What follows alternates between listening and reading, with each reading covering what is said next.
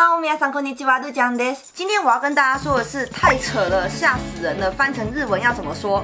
之前的影片有拍过，听到耳朵都长茧的是 Mimi Taco。Mimi Taco ga de g i 今天要跟大家讲的太扯了，吓死人了，跟这个有点像。太扯了，吓死人的日文叫做 Me kara uroko ga ochiru。Me kara uroko ga ochiru，简称 Me kara uroko。Me kara uroko。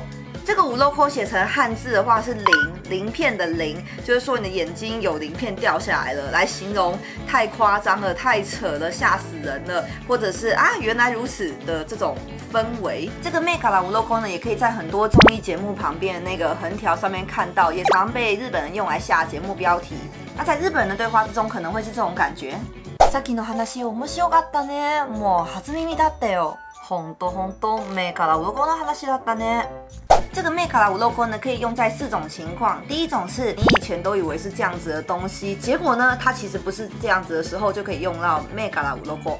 第二个是听到个不同视角或是完全不同的评价的时候，也可以说 make 啦五 logo。第三个是想着啊，原来如此，一点通的时候，也可以说 make 啦五 logo。 第四个呢是惊讶之余，嗯，但是你表示能够理解，也可以用 make 啦 logo 来形容当下的心情。那也是一样，造几个句子给大家听哦。はっきりと指摘していただいたおかげで目から鱗が落ちましたはっきりと指摘していただいたおかげで目から鱗が落ちました多亏你这么清楚的告诉我哪里需要改进，我真的得到一个新的视点。そのニュースを聞いた時はまさに目から鱗が落ちる思いでした。我听到那个新闻的时候，真的觉得太扯了。这个 make 啦无 logo 是一般教科书都不会教到的，但是我自己在看电视很常看到，还有看日剧的时候也很常看到，所以就有去问我在轻音别课时候的日文老师，他就跟我们讲了 make 啦无 logo 高记的这个惯用语。这个 make 啦无 logo 也很建议大家在跟日本人讲话的时候可以说，那个日本人一听到的时候一定会觉得哦，你的日文很厉害这样子。